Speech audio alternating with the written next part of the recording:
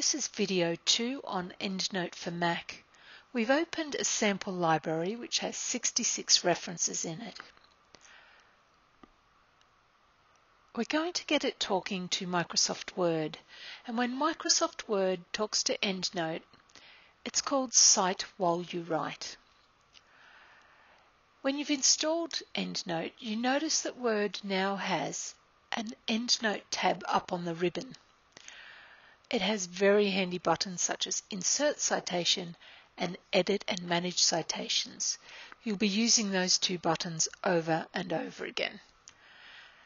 Let's put an EndNote reference at the end of the first paragraph, but we need a space so it doesn't get all overcrowded. I'll insert citation and I'm looking for something by an author called Allen. There it is, an article from 2004. I'll insert it. EndNote has put the author and the year and down the bottom started creating a bit of a bibliography for me. How nicely typed is that? Let's do that again. End of the second paragraph, space, insert a citation, there's another author called Holland. Yep, that's the one. There's a bit of a preview pane there. So it's it's getting that preview from over in EndNote. And it even tells me it's got the name of the sample library there at the bottom of the window. So that one was a little more complicated. There's some longish looking authors' names there. So I'm really glad EndNote typed that up for me.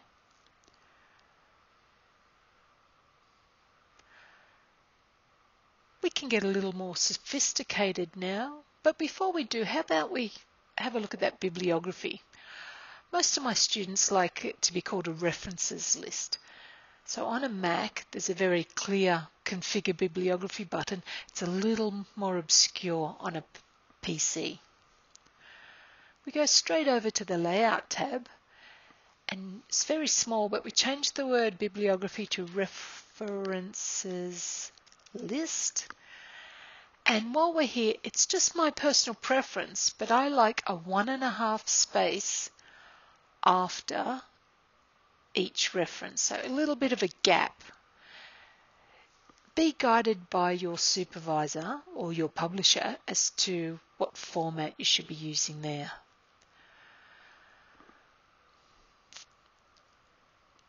How about at the end of the first sentence of the second paragraph doesn't really matter where, as long as you've got a space, got somewhere to put this.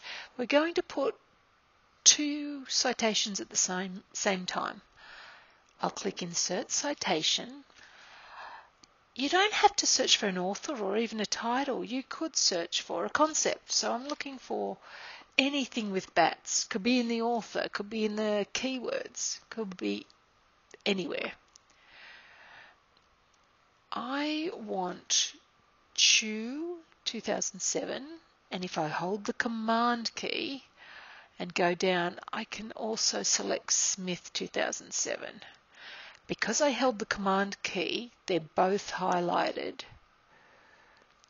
and I can insert two at the same time to back up this one statement that I've made. I've made a statement, I've backed it up with two different works that give me evidence for that. Oh, I've changed my mind. I don't want Smith there anymore. If you change your mind, and you will change your mind over time, go up to Edit and Manage Citations. Find the one that you want to remove highlight it, click the cog and remove citation. You'll still need to click OK for that to happen. So Chew and Moss and Smith have become Chew and Moss. What about some page numbers?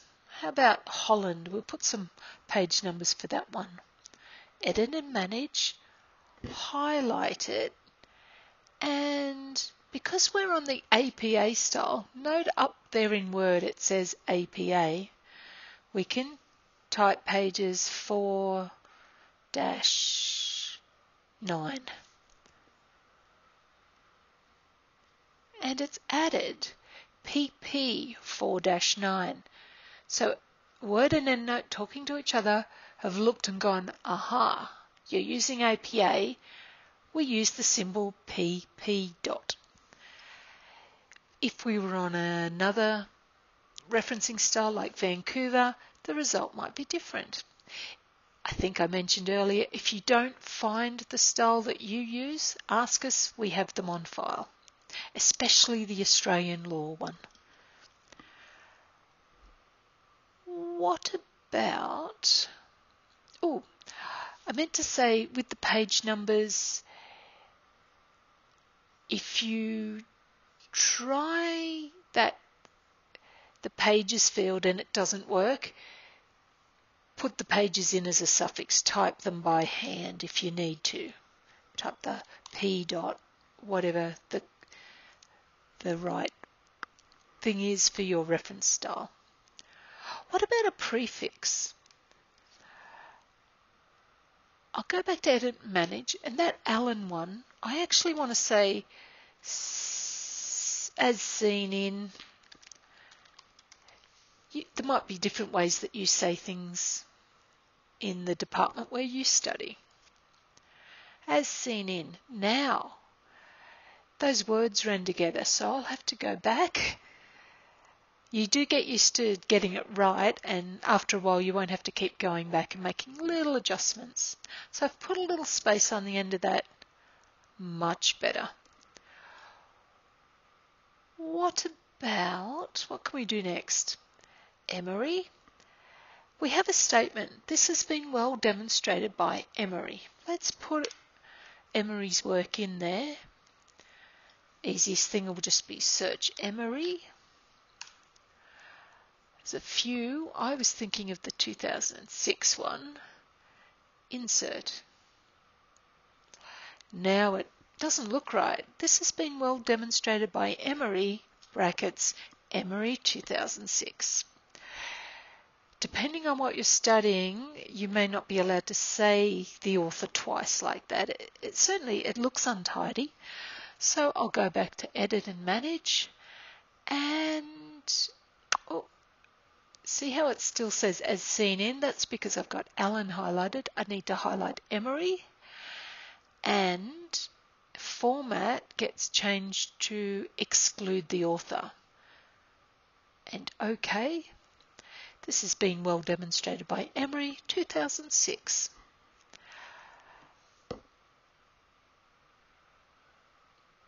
We've done prefix, suffix. There's one more thing we can do. Whoops, my finger slipped. Wow. Come back word. Edit and manage citations. Sometimes, no, actually that that was it. That was it. That was excluding the author. We have covered all the basics. When it comes time, if you need to put chapters together, check out the help guides we've got. If we have a little look over here, on the library subject guide for EndNote.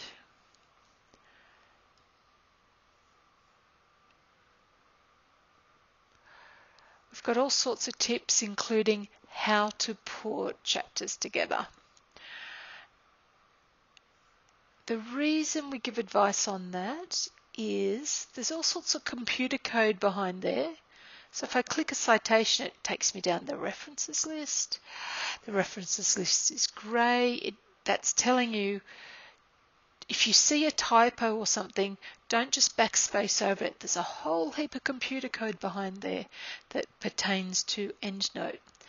If you see something you want to change, like Allen, you've misspelt it, you use the button called Go to EndNote, find Allen, fix the reference, say it should be spelled A-L-L-A-N. You need to move off that record. Then you can find the button for Go to Word. And the change hasn't happened. There's a button called Update Citations and Bibliography. That'll get the latest information from EndNote. And now it's retyped the word Alan, different spelling. There's just one thing left to do, and that is when you have carefully put the chapters together using our instructions and you want to send this off to a supervisor or publisher, you'll go to Tools and you'll make a copy, a plain text copy that doesn't have all that grey, doesn't have code behind there. Publishers don't like to see all that code. They don't want to muck up their software. They don't need to see all your EndNote workings. They just want to see the final product. And this is the final product. Nothing turns grey. Nothing sends you down to the bottom. It's now just a word processing document. So just as you're sending it off to the publisher, if you see a mistake, you can just type it on the spot. It's just word processing. Let's have a look at a recap of what we've learned today. We've started with a brand new EndNote library. The optimum number of EndNote libraries is one. That saves Word knowing which one it's talking to, or if you're opening an RIS file from ProQuest, it knows which EndNote library to open in. One is the best number of EndNote libraries. And you only need one because you can do so many things like set up groups rather than start a new EndNote library every time you have a new interest. We typed a record by hand because it's good practice to know where the full stops and commas and things go. Helps you understand how EndNote works. We went over to a database and created an RIS file and then imported that into EndNote. we brought in a whole folder full of files 14 files, they all came in at once. And we looked at what happens if you're not paying attention, if you've got your caps lock on when it shouldn't be, if you bring in a record from a database and they have left their caps lock on when they should have, or if they've put a comma where it shouldn't be you need to keep your eyes open and fix little problems as you find them so that you don't have to worry the week your thesis is being submitted. And so important, you need to compress your library regularly. The definition of regular depends on the student or the researcher. For me, I might do it once a month and I save those compressions somewhere safe like an external hard drive, never the cloud. And we take good care of file management. EndNote is a very sophisticated software, and so it has a very sophisticated structure of files. Get your file name, get your library name right from the start so you don't have to change that and get it saved in the right place, like Documents EndNote, right from the start, so you're not moving things around and maybe mucking them up. This is what we've built a, an, a Word document that has little fields that are grey because it's all coded, it's all talking to EndNote. You make a change in EndNote, it makes the change in Word and our subject guide for EndNote is your go-to place. 24 hours a day you can go and look up an answer for a question. If you don't find an answer, certainly contact us. You can have a one-on-one consultation with us.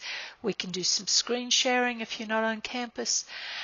And if you stump us, we can go to Clarivate, the EndNote company, and we can get an answer from them. I hope you've enjoyed this session. If you've got any questions about EndNote, do let us know.